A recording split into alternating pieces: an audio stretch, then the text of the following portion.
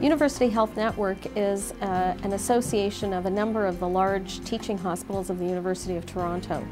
The hospitals each have their own individual profile, but the organization has one uh, administrative uh, group and the organization works as a single comprehensive unit. Being under, uh, under one umbrella organization uh, facilitates uh, communication through an integrated uh, communication network, electronic patient record, laboratory information system, etc. Uh, so that exchange of information within the organization itself can be seamless, uh, regardless of geographic location.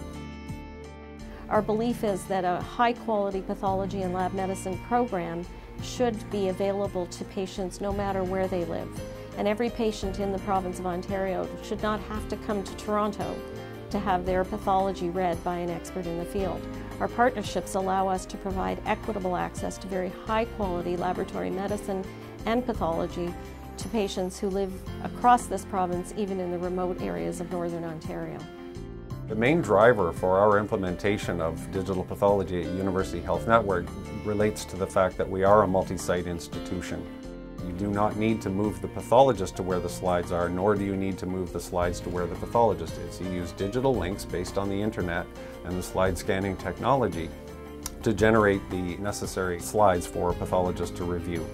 The patient at a remote site can stay in their site and proceed with further diagnostic or even therapeutic management. This can be done uh, once you are outside the institution, 100 miles away or 5,000 miles away in a developing nation. This is universally available in modern technology and depends on the bilateral expertise of the clinician and the pathologist.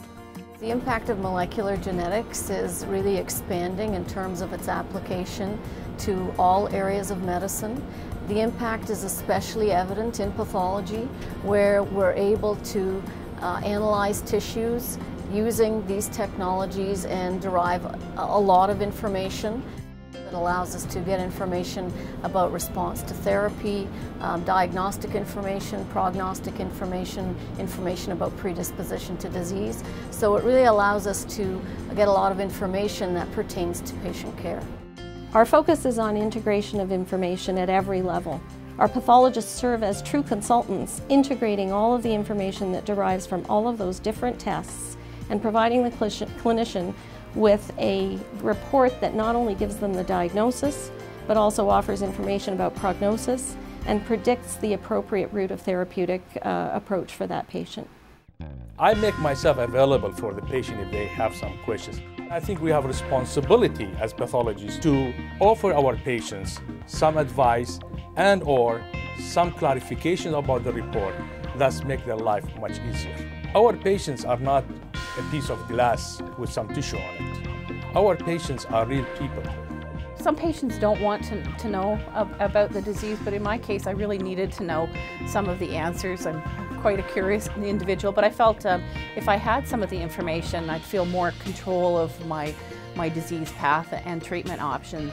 I'm not just a collection of, of malignant cells on somebody's table. I'm actually a person that I was actually to, able to meet with the pathologist. I thought that was incredible because beforehand in my you know previous years experience with these this disease, there you know the pathologist is just a report that comes to me and any questions I have I had nobody to turn to to ask about those types of uh, um, questions on the on the report. So to be able to have access to somebody, I thought that was incredible. We're so lucky to be situated in this, in this uh, city that we can actually access such a world-class team of professionals.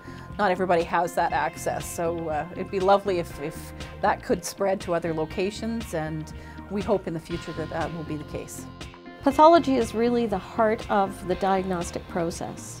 And as such, pathology is really also the heart of personalized medicine.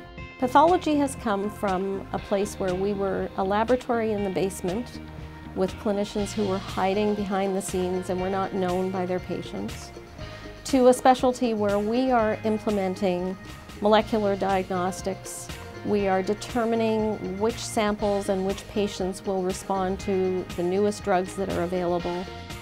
We have the future in our hands and we are forming what we believe the future of pathology should be.